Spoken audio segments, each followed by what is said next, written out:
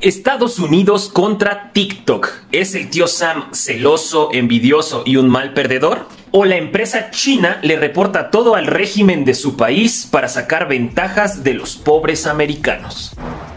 La Casa Blanca ha dado 30 días a todas sus agencias gubernamentales y sus contratistas privados para que dejen de utilizar TikTok.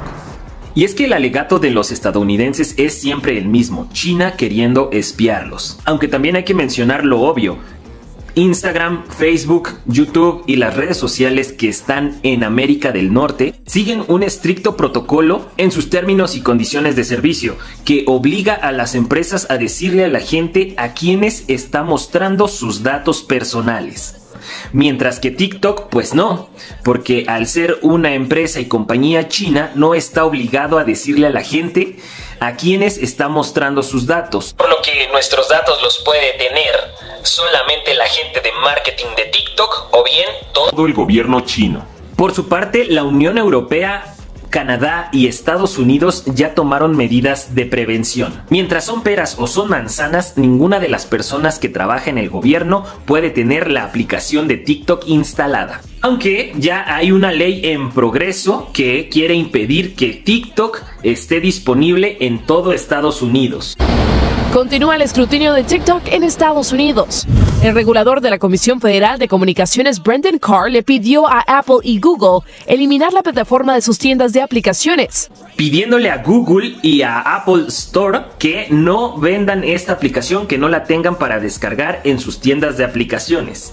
TikTok por su parte ya dijo que los americanos son unos exagerados y que abusan de esto de seguridad nacional para prohibir a empresas extranjeras la libre competencia. Y es que no sería la primera vez que los americanos quieren jugar chueco con el pretexto de seguridad nacional. Recordemos a Huawei, quien fue vetada por Google y por todas las empresas en Estados Unidos porque evidentemente le estaba dando una partida de hocico enorme a todas las empresas de telefonía norteamericana, llegando a tener teléfonos de gama media que competían perfectamente con el último iPhone, pero a un cuarto de precio. Así que Estados Unidos dijo vamos a meterle restricciones, no quiero que tengan convenio ninguna de las empresas americanas con esta empresa y no quiero que Play Store de Google tenga nada que ver con Huawei, así que retire su marketplace de sus dispositivos y no le permita actualizar ninguna aplicación jamás. Evidentemente esta medida salvó a Apple y a todas las telefonías norteamericanas de un gigante que venía a aplastarlos.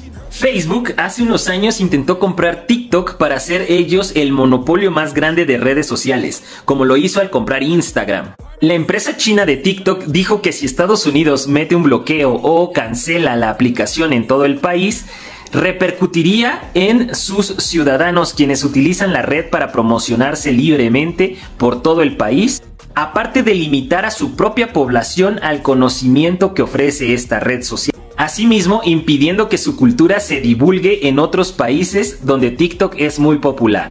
Pero dime, ¿tú qué crees de esto sobre que Estados Unidos sí es realmente egoísta y quiere cancelar TikTok? ¿China realmente está espiando a los norteamericanos a través de esta aplicación? Déjame saber tu opinión aquí en la caja de comentarios.